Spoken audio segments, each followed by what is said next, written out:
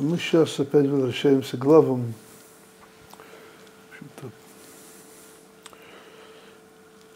противопоставления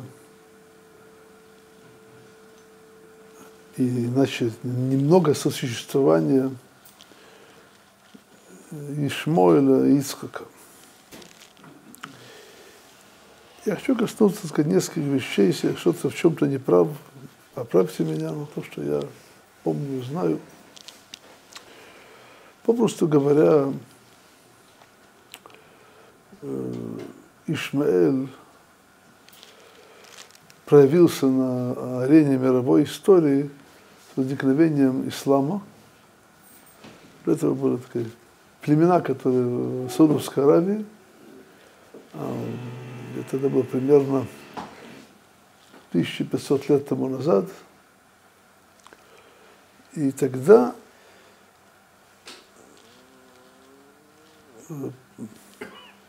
потомки Ишмаэля превратились в короткое время в большую сильную империю, которая захватила всю Северную Африку, Испанию, часть, э, часть, часть Европы, она, и более того, даже есть известный вопрос, почему четвертое царство, которое упоминается в Данииле, это Рим, э, почему, почему не Ишмоль. Более того, Ибн считает, что действительно четвертое царство, которое упоминается в книге Даниэля, это имеется в виду царство Ишмаэля. Ну, если немножко вдуматься в эти вещи, то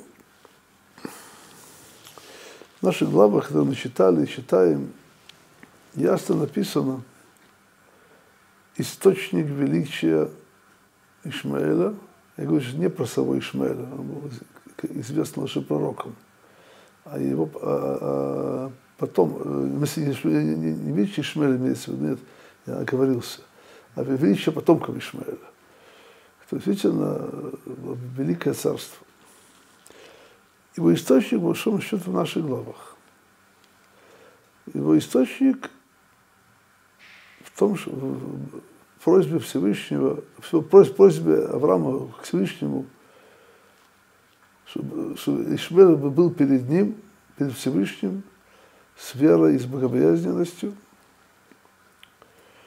И, кстати говоря, это, попросту говоря, кто за лично Ишмоэль, это сказано в нашей главе, что он, что он сделал чего.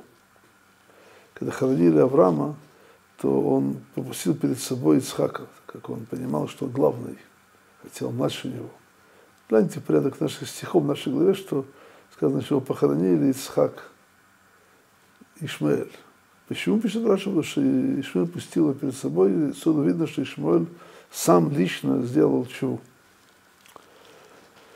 Но как, как появляется в мировой истории чува Ишмаэля? Есть большое правило. Деяние отцов это, это знак для сыновей. Об этом есть известные слова Рамбама, что вера Ишмаэля, в ней нет недостатка. Вера в единственность Творца, в этом они в порядке. В порядке. Это тоже это было много, я точно не могу посчитать сейчас, но где-то тысяча с чем-то лет, 1500, может, лет после, может, даже больше 1500 лет, чем приведенные в наших главах события. Есть еще одно замечание, которое вам сейчас коснуться сегодня. Есть у нас в предыдущей главе такое интересное выражение Вегой е пере одом, он будет диким человеком, ядоба коль, Буквально Ядоба Коль, пишет Раша, был грабитель. И более того, как известно, Коран запрещает воровство, а тому, кто, его нарушает, отрубают руку. Этот запрет Корана совершенно не мешает арабам воровать. Они делают настолько хорошо, чтобы я всегда говорю, что надо свыше благодарить, что, что они так, так способны в воровстве, а, а не в убийстве. А Коран не мешает. Очень просто. А Тора определила, кто они. Я дома коль. Коран не может изменить сказанное в Торе. Однако есть еще одна вещь. Яд колбо. Что такое яд колбо? Раш объясняет, а колсоним, это все его ненавидят и задираются с ним, скажем. Медгарим задираются с ним.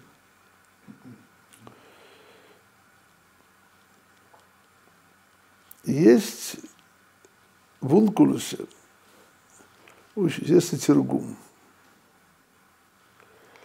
Он говорит, что что такое яд кольбо, яд кольбо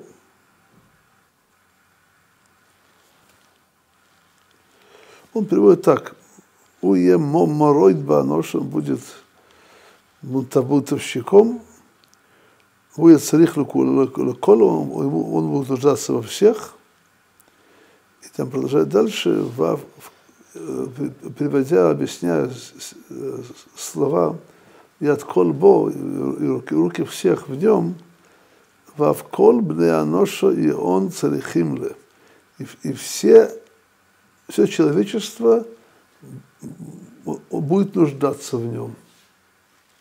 Когда это человечество нуждалось в Ишмаэле? Когда? Ну, сколько когда? Когда у них появилась, нужда в нефти.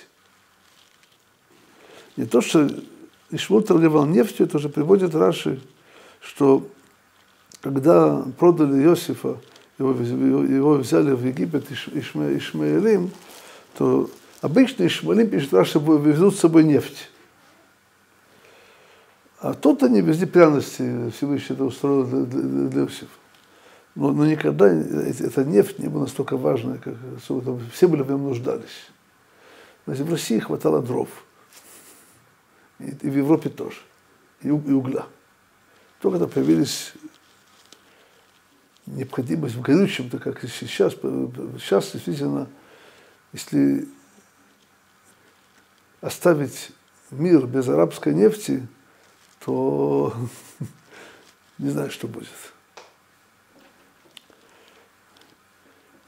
О, то есть мы видим, что то, что сказано здесь, как так Таргум, Таргум был составлен, это опять же говорят, что Таргум Ункулуса, он был, это передан как Тарас с горы Синай, это объяснение письменной Торы, по полученному из горы Синай. Ункулус получил Тору от Абелезера, от Абишуа. Тор нам говорит, что все человечество будет нуждаться в Ишмоле. Когда это исполнилось? Последние сто лет. Один сто лет. Надо вещи просто обратить на это внимание. Идемте дальше. Мы, мы, мы упомянули противопостояние Ишмоля и Ицхака. Сара, наша праведная матерь Сара, она видит Ишмоля, слово Мецахек. Мецахек – это слово смех. Это такое слово, которое часто в Торе используется как синоним разврата, синоним кровопролития и, и, и синоним идолопоклонства. Почему это так, это сейчас не, не совсем наша тема. И вот Сара видит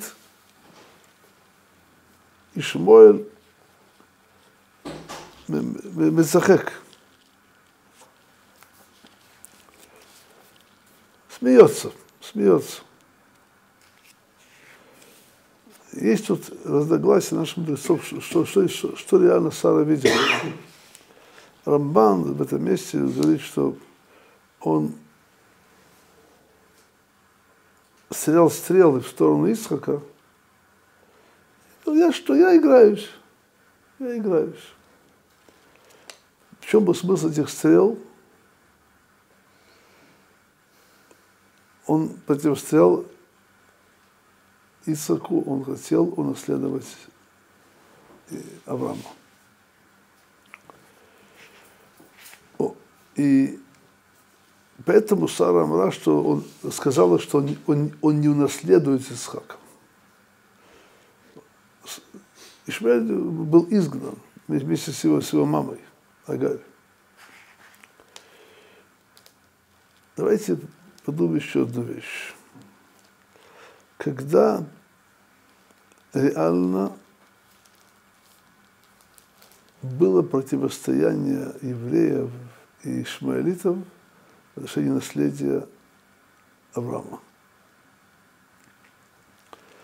Это началось только с Корана, реально, когда они претендовали, что они являются истинными потомками Авраама, и что Марата Махпала похоронен не Исхака и Ишмоэль.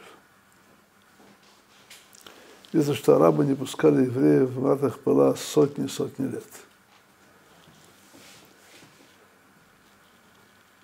То, что Авраам приобрел, чтобы похоронить Сару, это, это преследовали потомки Ишмаэля, что это там похоронен не Исхак, а Ишмаэль. И более того, есть теория, что жертву приносили не, не, не, не Исхака, а Ишмаэля. То есть э, это все э, фальсификация мировой истории, чтобы унаследовать Авраама. Кстати говоря, если немножко обратить это внимание, то, что не понимают многие люди,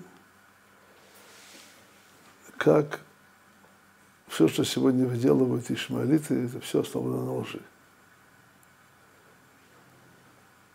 Все основано на лжи. Это тоже началось не сегодня.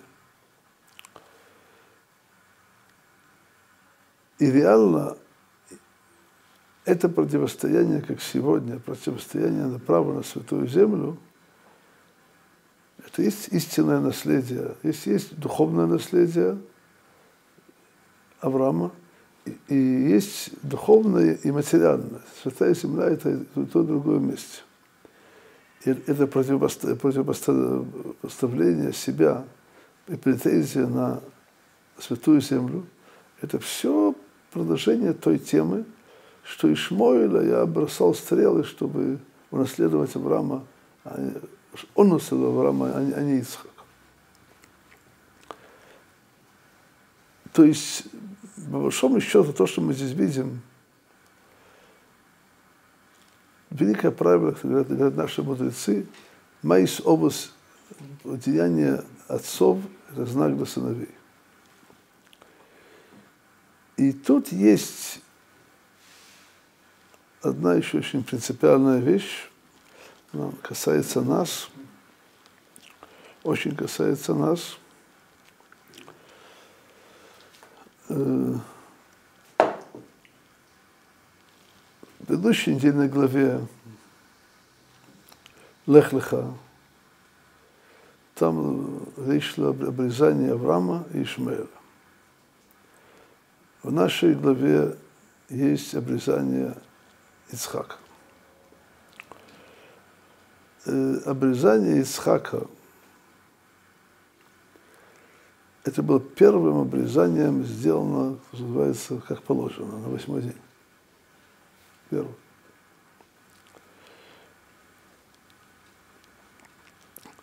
И есть известная книга Зоар, которая говорит, что в силу обрезания Ишмаэля Ишмаэль, Ишмаэль, Ишмаэлиты получили святую землю на время, когда она пустая, после изгнания нашего, после римского изгнания, изгнания дома. То есть это то, что Ишмаэль утверждал, что он согласился, чтобы его обрезали 13 лет – это заслуга, которая ему засчитывается. И все этого Ишмаэль действительно получил право на святую землю на время, когда она пустая от евреев. Однако, так как брить его, завет его обрезания был пустой, в нем не было продолжения, в нем не было развития. То есть Аврааму сказано, что, чтобы он был брит и чтобы стал тамим, цельным. То есть я уверяю вас на сто процентов, что обрезание Ишмаэля не сделало его цельным. И более того, мы говорим на, на, на брите, просим Всевышнего, благословляем этим Отца, Кишим Шинихнасты Брит, как он приобщился к завету обрезания, как и конец Тойру Лхупру Майсим Тойвим. То есть брит является началом, началом, началом еврейской жизни. С брита начинается обрезание, начинается Тора, начинаются добрые дела, начинается строительство еврейской семьи. Все начинается с брита, с обрезания. То есть брит мила у нашего народа это начало, это начало предложения. А начало изучения Торы, известного от, от спонсора Беквегера, что если мальчик-сирота, то кто его должен держать коленях, как сандак, не представитель Бейдена, суда, на котором ответственность за обрезание, а дедушка по папиной линии, так как на нем лежит обязанность обучать внука Торе. Так как брит, брит – это начало изучения Торы, поэтому тот, кто будет обязан заниматься с ним Торой, дедушка по папиной линии, то, то, то ему, и, и он имеет отношение большее к обрезанию. обрезанию. Так как обрезание, его смысл – это, это начало входа в изучение Торы. И вот мы противостоим Ишмаэлю Святой Земле. Ишмаэль претендует, что земля вся его. Всех разговоры, что не готовы признать какие-то границы, это все бред. Это все их очередной обман.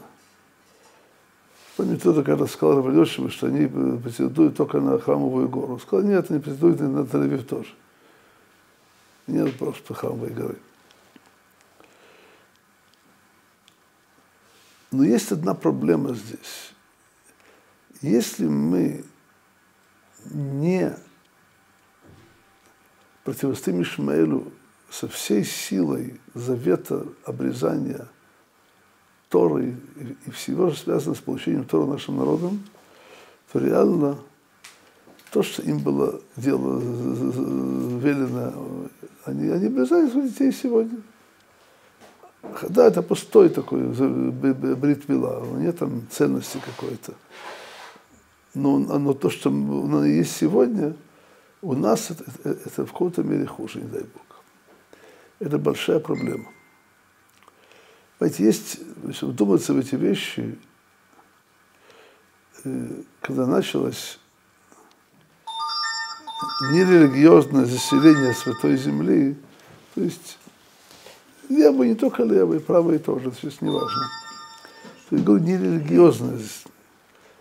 То есть, когда смысл был построить здесь новую Швейцарию, как хотел этого Херцель. Да, хотели здесь светское еврейское государство. Эти вещи, конечно, несовместимы. Нет светского еврейского государства.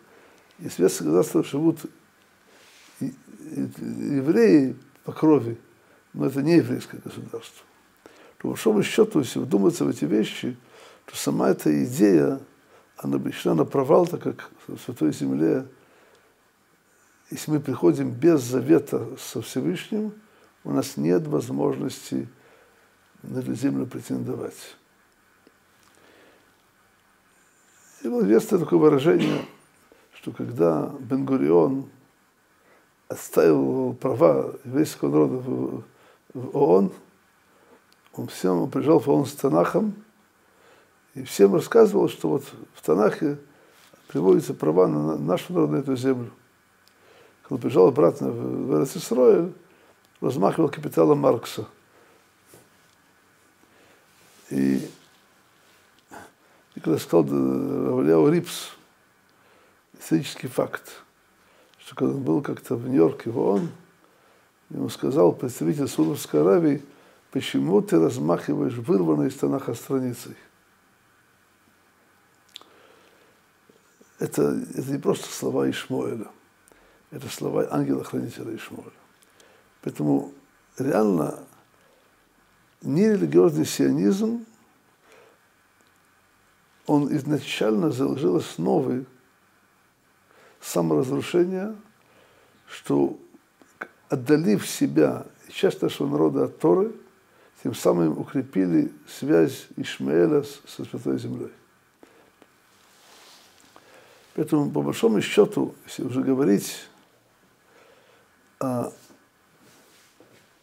о том, что мы можем противоставить Ишмаэлю, кстати говоря, наши отношения с Ираном, Персией, пишет Мораль, что, что Персия – это тоже часть Ишмаэля.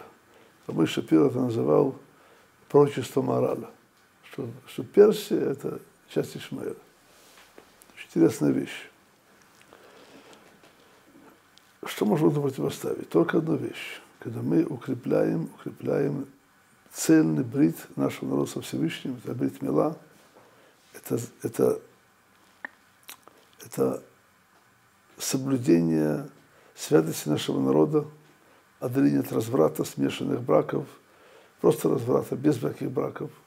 Так, это есть хранение завета обрезания. Когда наши силы они хранятся для, для, праведной еврейской семьи, а не для чего другого.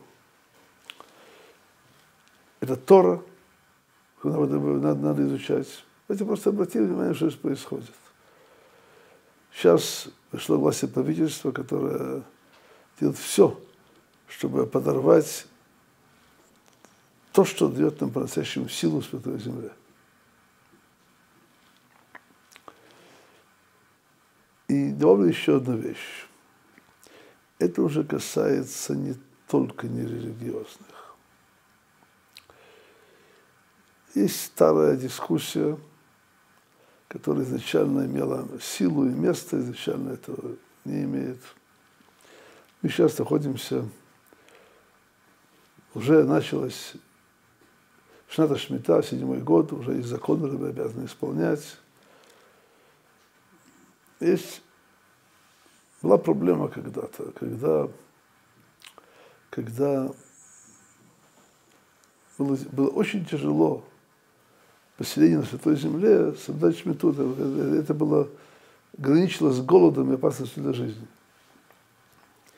И ради этого были мудрецы, что в такой ситуации необходимо разрешить продажу земли арабам, тем, что евреи не работали, а работали именно арабы, чтобы спасти